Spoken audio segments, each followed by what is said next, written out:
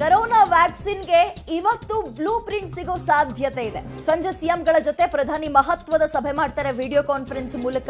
ರಾಜ್ಯ ಸರ್ಕಾರಗಳಿಗೆ ಸ್ಪಷ್ಟ ಮಾರ್ಗಸೂಚಿ ಇವತ್ತು ಸಿಗುವಂತಹ ಸಾಧ್ಯತೆ ಇದೆ. ನಾಲ್ಕು ಗಂಟೆಗೆ ಮೋದಿ ಅವರು ಮಹತ್ವದ ಭಾಷಣ ಮಾಡೋ ಸಾಧ್ಯತೆ ಕೂಡ ಇದ್ದು, ಲಸಿಕೆ ಸಂಬಂಧ ಇವತ್ತು ಸಂಜೆ ಮಹತ್ವದ ಘೋಷಣೆಯಾಗುತ್ತಾ ಅನ್ನೋ ಕ್ಯೂರಿಯಾಸಿಟಿ ಇದೆ.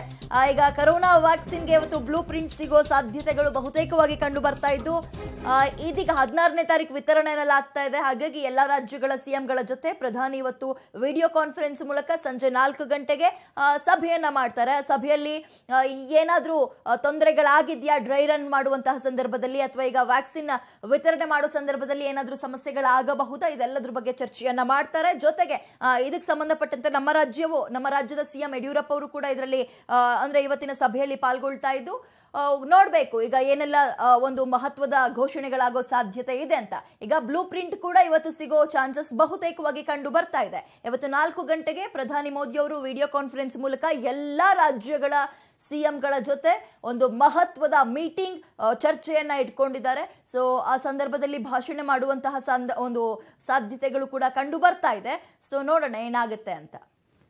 ಎಸ್, ಮೋದಿ ಇವತ್ತು ಅತಿ ದೊಡ್ಡ ಘೋಷಣೆಯನ್ನ ಮಾಡ್ತಾರಾ ಅನ್ನುವ ಕುತೂಹಲ. ಯಾಕಪ್ಪ ಅಂತ ಹೇಳಿದ್ರೆ ಈಗ ಸಂಕ್ರಾಂತಿಯ ಹತ್ತತ್ರದಲ್ಲೇ ಲಸಿಕೆ ಸಿಗತ್ತೆ ಅನ್ನುವಂತಹ ಮಾತಿತ್ತು. ಅದು ನಿಜ ಆಗ್ತಾ ಇದೆ.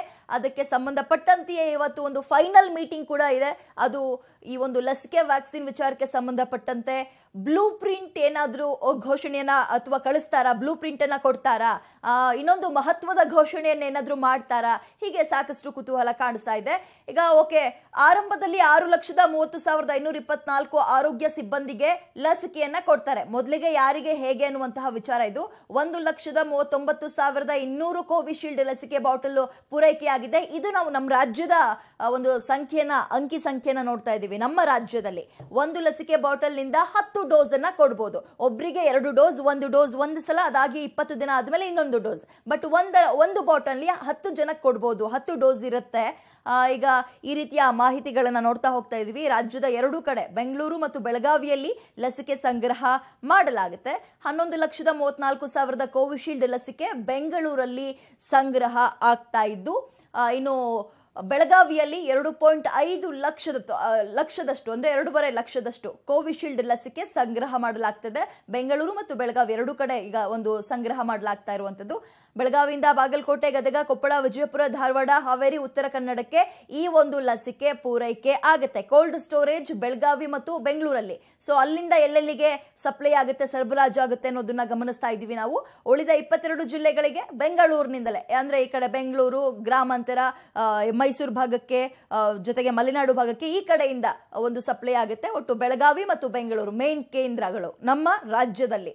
ಈಗ ಉಳಿದ ಇಪ್ಪತ್ತೆರಡು ಜಿಲ್ಲೆಗಳಿಗೆ ಬೆಂಗಳೂರಿಂದಲೇ ಲಸಿಕೆ ಒಂದು ಪೂರೈಕೆ ಆಗುತ್ತೆ. ಅದೇ ಚಿತ್ರದುರ್ಗ, ಕಲಬುರಗಿ, ದಕ್ಷಿಣ ಕನ್ನಡ, ಮೈಸೂರು, ಇಲ್ಲಿ ಪ್ರಾದೇಶಿಕ ಲಸಿಕೆ ಸಂಗ್ರಹ ಕೇಂದ್ರಗಳಿದೆ. ಪ್ರಾದೇಶಿಕ ಲಸಿಕೆ ಸಂಗ್ರಹ ಕೇಂದ್ರಗಳು ಬೆಂಗಳೂರು, ಮಂಗಳೂರು ಪಾಲಿಕೆ ವ್ಯಾಪ್ತಿಯಲ್ಲಿ ಕಾರ್ಪೊರೇಷನ್ ಲಸಿಕೆ ಸಂಗ್ರಹ ಕೇಂದ್ರ ಇದೆ. ಮೈಸೂರು ಭಾಗದಲ್ಲಿ ಪ್ರಾದೇಶಿಕ ಈ ರೀತಿಯಾಗಿ ಒಂದು ಪ್ರಾದೇಶಿಕ ಲಸಿಕೆ ಕೇಂದ್ರಗಳಿಂದ ಒಂಬೈನೂರು ಲಸಿಕೆ ಕ್ಯಾರಿಯರ್ ಮೂಲಕ ಲಸಿಕೆಯನ್ನ ಪೂರೈಕೆ ಮಾಡಲಾಗುತ್ತೆ. ಈ ರೀತಿಯಾಗಿ ಈಗಾಗಲೇ ಒಂದು ಡಿವಿಷನ್ ಮಾಡ್ಕೊಂಡಿದ್ದಾರೆ. ಎಲ್ಲೆಲ್ಲಿ ಹೇಗೆ ಸಂಗ್ರಹ ಮಾಡೋದು ಎಲ್ಲಿಂದ ಎಲ್ಲಿಗೆ ಸಪ್ಲೈ ಆಗುತ್ತೆ ಪ್ರಾದೇಶಿಕ ಕೇಂದ್ರಗಳು ಎಲ್ಲಿದೆ, ಇವೆಲ್ಲವನ್ನ ಕೂಡ ಈಗಾಗಲೇ ಡಿವೈಡ್ ಮಾಡ್ಕೊಂಡಿದೆ. ಈಗಾಗಲೇ ಲಸಿಕೆಯನ್ನ ಚುಚ್ಚೋದಕ್ಕೆ ಇಪ್ಪತ್ನಾಲ್ಕು ಲಕ್ಷ ಸಿರೆಂಜ್ಗಳು ಕೂಡ ಬಂದಿದೆ. ನಾವು ಪಬ್ಲಿಕ್ ಪಬ್ಲಿಕ್ ಟಿವಿಯಲ್ಲಿ ಕೂಡ ಮೊನ್ನೆ ತೋರಿಸ್ತಾ ಇದ್ವಿ ಒಂದು ಸಿರೆಂಜ್ಗಳ ಒಂದು ಸ್ಟೋರೇಜ್ ಯಾವ ರೀತಿಯಾಗಿದೆ, ಯಾವ್ಯಾವ ಹಾಸ್ಪಿಟಲಲ್ಲಿ ಯಾವ ರೀತಿಯಾಗಿ ಸ್ಟೋರೇಜ್ ಮಾಡ್ತಾ ಇದ್ದಾರೆ ಅಂತ. ಈಗ ಕರ್ನಾಟಕದಲ್ಲಿ ಆರಂಭದಲ್ಲಿ ಕೋವಿಶೀಲ್ಡ್ ಲಸಿಕೆ ವಿತರಣೆ ಮಾಡ್ತಾರೆ. ಮೊದಲಿಗೆ ಕೋವಿಶೀಲ್ಡ್ ಕೋವ್ಯಾಕ್ಸಿನ್ ವಿಚಾರ ಸದ್ಯಕ್ಕೆ ಬಂದಿಲ್ಲ ಇಲ್ಲಿ. ಕೋವಿಶೀಲ್ಡ್ ಲಸಿಕೆಯನ್ನ ವಿತರಣೆ ಮಾಡ್ತಾರೆ ಕರ್ನಾಟಕದಲ್ಲಿ ಮೊದಲ ಸ್ಟೇಜ್ನಲ್ಲಿ, ಅಂದ್ರೆ ಆರಂಭದಲ್ಲಿ. ಸೊ ಅದಾದ ನಂತರ ಆರಂಭದಲ್ಲಿ ಆರು ಲಕ್ಷದ ಮೂವತ್ತು ಸಾವಿರದ ಐನೂರ ಇಪ್ಪತ್ನಾಲ್ಕು ಆರೋಗ್ಯ ಸಿಬ್ಬಂದಿಗಳಿಗೆ, ಅಂದ್ರೆ ಹೆಲ್ತ್ ವಾರಿಯರ್ಸ್ಗಳಿಗೆ ಮೊದಲ ಪ್ರಿಫರೆನ್ಸ್ ಇಲ್ಲಿ. ಮುಂಚೆಯಿಂದಲೂ ಕೂಡ ಹೇಳ್ತಾ ಇದ್ರು, ಏಕಾಏಕಿ ಎಲ್ಲರಿಗೂ ಕೂಡ ಕೊಡಕ್ಕಾಗಲ್ಲ ಅಂತ. ಸೊ ಈ ರೀತಿಯಾಗಿ ವಿಭಾಗಗಳನ್ನ ಮಾಡಿಕೊಂಡು ಲಸಿಕೆಯನ್ನ ಕೊಡೋದಕ್ಕೆ ರಾಜ್ಯ ಸರ್ಕಾರ ರೆಡಿಯಾಗಿದೆ